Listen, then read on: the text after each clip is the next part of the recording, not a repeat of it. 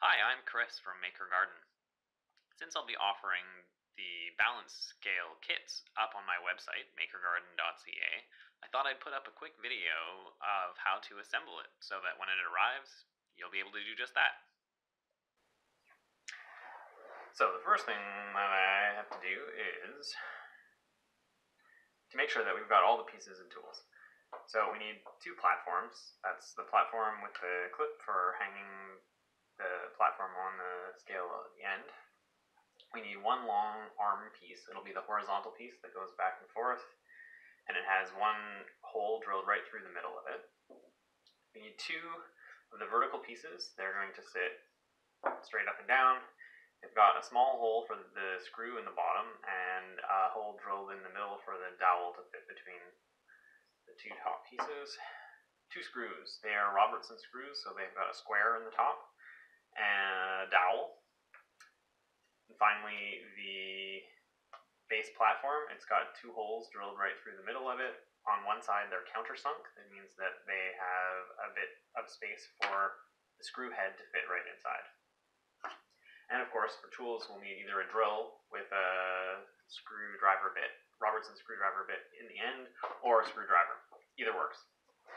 So to start with, I'm going to take the platform and just start the screws into it. You can use the drill, it would work.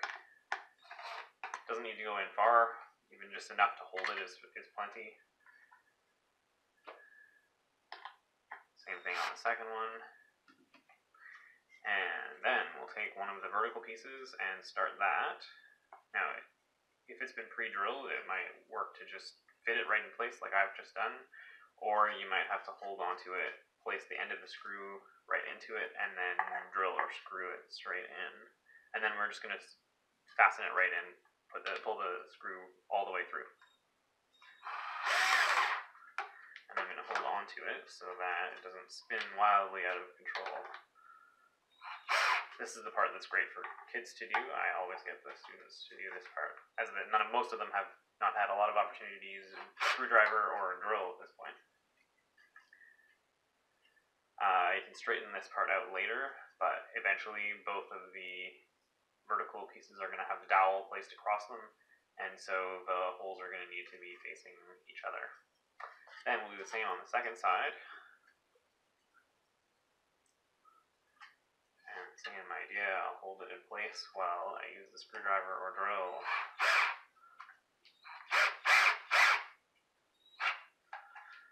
Now I've left it a little bit offset, and that's so that I can actually fit the dowel in place.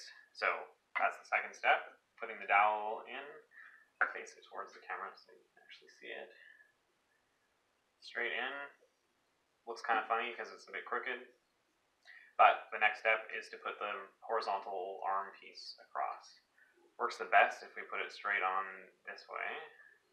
It fits really nicely, and hey, look at that, it's trying to balance itself out. It doesn't matter if it doesn't balance right now, we'll fix that afterwards. Then we're going to put the dowel across straight into the other side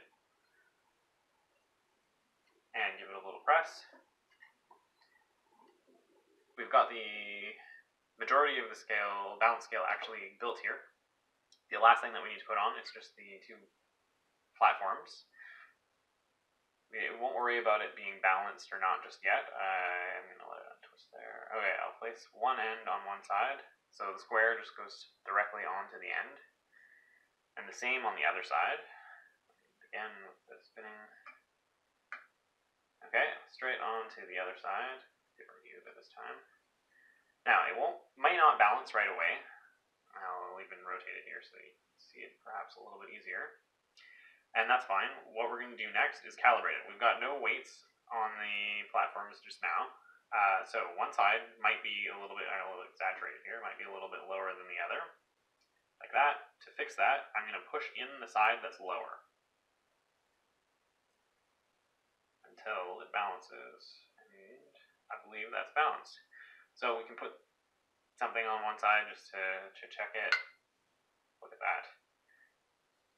Or we can put two things on it if I had a second object with me, but I, oh, I can grab a piece of tape. And see if the pen and the piece of tape happen to